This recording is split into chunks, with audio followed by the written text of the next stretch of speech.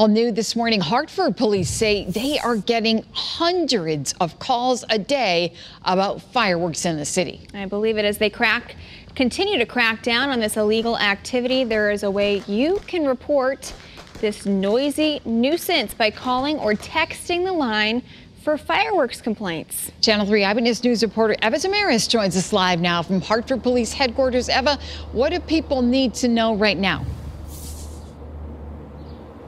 Well, good morning to you both. If this is happening in your neighborhood, report it right away. Here at Hartford Police, they say they've been getting about 200 calls a day about fireworks. Now, complaints about fireworks here in the capital city are exploding.